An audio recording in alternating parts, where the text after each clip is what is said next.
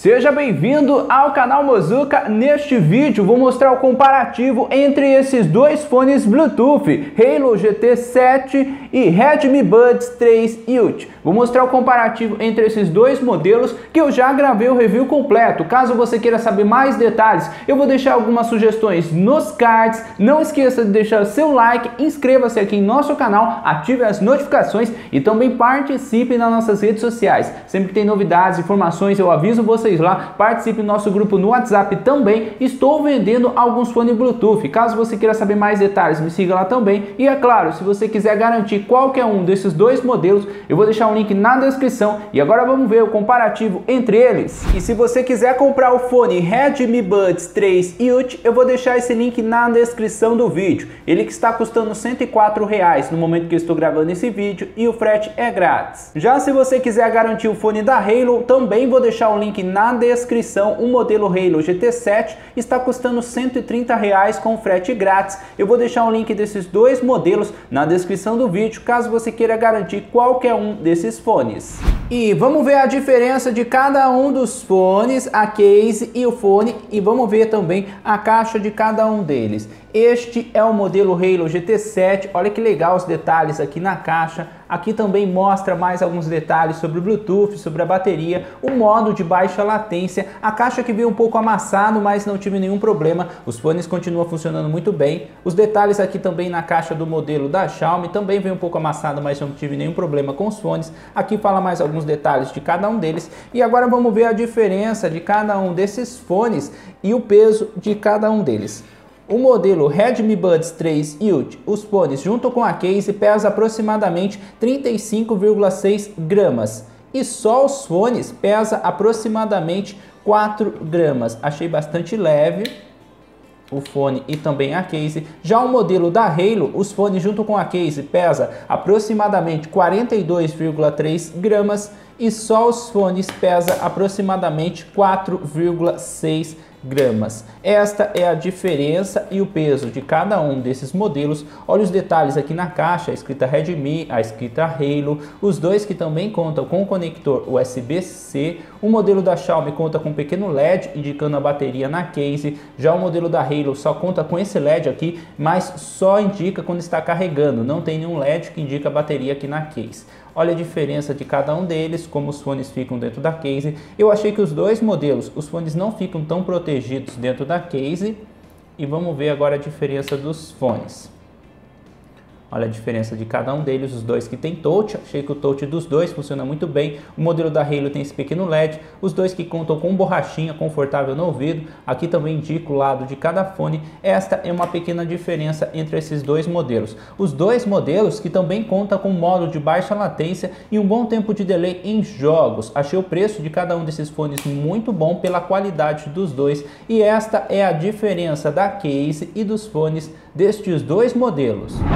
E olha os detalhes de cada um dos fones, vamos ver como eles ficam no ouvido. Este que é o fone da Halo, fone do lado direito, e este é o fone da Xiaomi, fone do lado esquerdo. Assim que eu coloquei os fones no ouvido, os dois abafaram e abafaram bastante o som. Olha a diferença de cada um deles. Parece que o fone da Xiaomi abafou mais o som. Os dois que contam com borrachinha, você pode trocar, é, com, tem pares de borrachinha adicional. O touch dos dois achei que funciona muito bem e achei que os dois ficaram bastante fixos no ouvido. Posso mexer que os fones não caem e eu achei que os dois ficaram confortáveis no ouvido. Olha a diferença de cada um deles.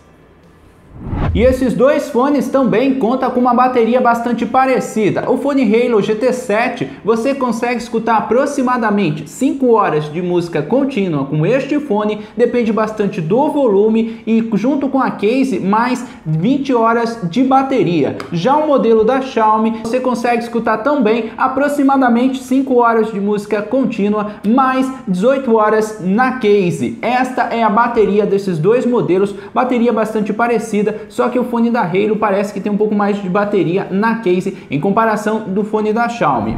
Já sobre o Bluetooth, desses dois modelos, os dois têm uma qualidade de Bluetooth muito boa. Os dois que têm Bluetooth 5.2. Conectou bastante rápido no smartphone, o som não fica falhando, não fica cortando. Você consegue utilizar por aproximadamente 10 metros, depende bastante do ambiente, se tem bastante porta ou parede na frente. Eu fiz o teste em ambiente aberto e os dois modelos funcionou em mais de 10 metros. Achei muito boa a qualidade do Bluetooth desses dois fones. Já sobre a qualidade de som, o fone Halo GT7 conta com um som bastante alto, potente, com bons agudos e com pouco de grave. E não é aquele som alto que quando você deixa no volume máximo fica distorcido. Achei boa a qualidade de som deste modelo. Já o fone da Xiaomi, o modelo Redmi Buds 3 Ultra, também achei que conta com um som bastante alto e um som que também conta com bons agudos e também não fica distorcido quando você deixa no volume máximo e conta com um pouco de grave. Esta é minha opinião sobre a qualidade de som desses modelos. Eu achei os dois com uma qualidade de som bastante parecida, mas na minha opinião o fone da Xiaomi é um pouco melhor, parece que tem um pouco mais de grave, mas é pouca coisa. Os dois eu achei que conta com uma boa qualidade de som pelo preço de cada um desses modelos.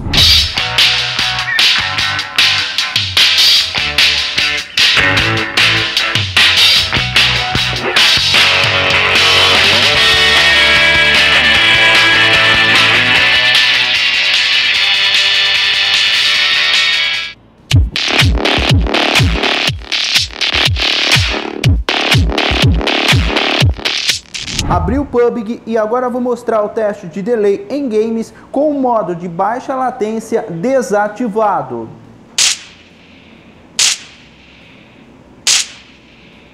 E para ativar o modo de baixa latência é só segurar nos dois fones por aproximadamente 2 segundos. Ao mesmo tempo, ele vai ter uma notificação sonora nos fones, aí vai ativar o modo de baixa latência. Agora o teste de delay com o modo de baixa latência ativado.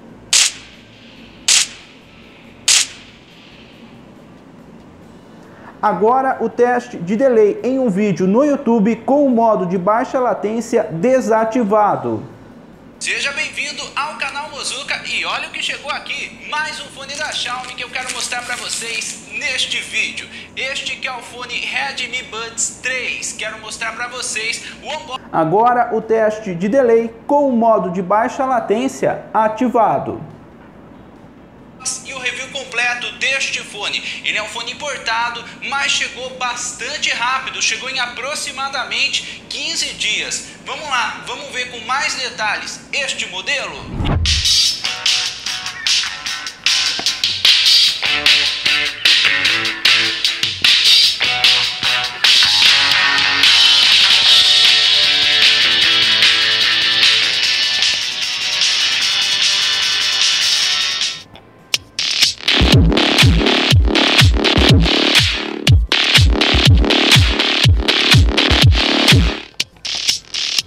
E vamos lá, vamos ver o teste de delay aqui no PUBG com o modo game desativado.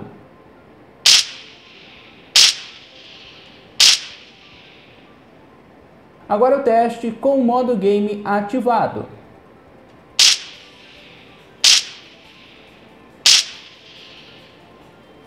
Agora o teste em um vídeo no YouTube com o modo game desativado. Deixando seu like, se ainda não for inscrito, inscreva-se, ative as notificações e também me siga nas minhas redes sociais. Lá eu mostro todos os fones, smartwatches. E agora com o modo game ativado. Seja bem-vindo ao canal Mozuka e olha o que chegou aqui, o fone Halo W1 novo fone da marca que eu quero mostrar para vocês neste vídeo. Quero mostrar o unboxing e o review completo deste fone, que parece que é um fone... E aí, na sua opinião, qual dos dois fones é melhor? Eu achei os dois com custo-benefício muito bom, mas eu prefiro o fone da Xiaomi, que é um pouco mais barato e também eu achei uma boa qualidade neste modelo. Comenta aí qual você prefere. O fone da Halo também achei um fone muito bom, é, mas devido ao fone da Xiaomi ser um pouco mais barato e os dois, na minha opinião, ser bastante parecido, eu prefiro prefiro o fone da Xiaomi? Comenta aí qual dos dois você prefere. E é claro, se você quiser garantir qualquer um desses dois modelos, eu vou deixar os links na descrição do vídeo. E é este o comparativo entre o fone Halo GT7 e Redmi Buds 3 Ultra.